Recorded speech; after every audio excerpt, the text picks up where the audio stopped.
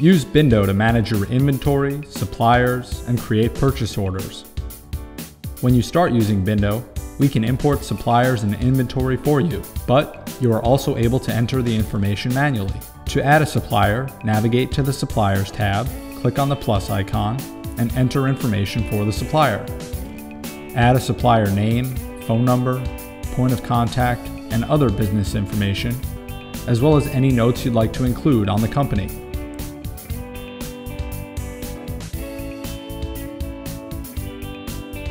Click Save and the supplier will be added to your list.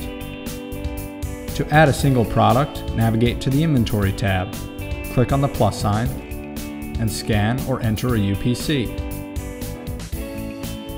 Bindo automatically retrieves basic product information, including a photo.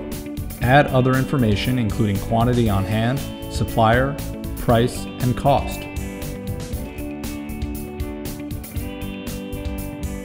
You also have the option to add a reorder trigger point and reorder quantity. There are various options around adding products. Let's say there's a t-shirt that comes in multiple sizes. To add this product, click on the ellipsis at the top right and select Create Matrix. Enter an attribute like size and enter a value for each variation. Hit return after entering a variation. When you're done, select Next and you'll be given an option to enter SKU specific information. After entering the relevant data, click Done to complete the matrix creation. You also have the option to create variable pricing around your products. Let's say that you offer customers who buy t-shirts a premium bedazzling service for an extra $5. To set this up, click on the item's price and choose Fixed Pricing. Add a regular price for the item add a premium price, and then save. Now, when you're ringing up a customer, you can toggle between the two prices depending on what the customer chooses. You can manage all of your wholesale purchasing on Bindo. To create a purchase order for a specific supplier, navigate to the Suppliers tab, click on the ellipsis, and select Generate Purchase Order.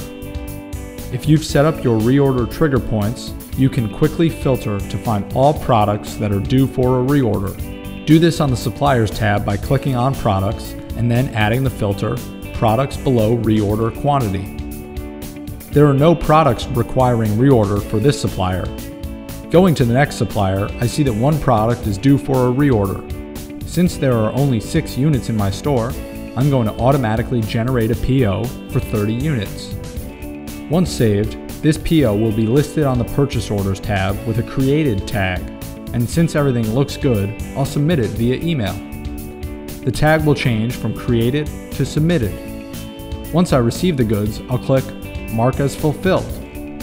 Inventory updates automatically to reflect the quantity fulfilled, and a record of the purchase order is saved. To start managing your inventory, suppliers, and ordering on Bindo, sign up for your 30 day free trial today